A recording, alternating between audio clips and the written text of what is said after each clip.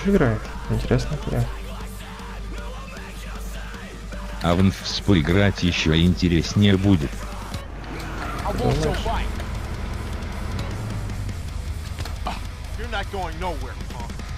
I Что там 9 секунд?